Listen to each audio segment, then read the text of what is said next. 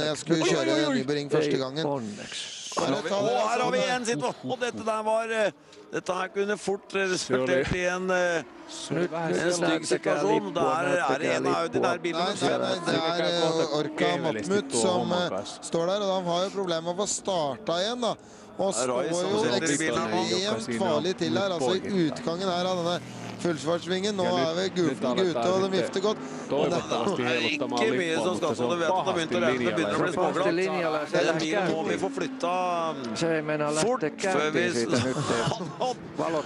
Nå er han svett under hjelmen, ja, godeste Roy. han skulle nok gitt mye for et nytt batteri akkurat nå. Det, Det vil jeg tro. det er ikke mye tvil om. Her er det da Marshaller ute, men de er også veldig redde da, for å, for å døtte. Og nå kommer det bil, da, og de skal døtte denne bilen. lys i hvert fall, om ikke annet.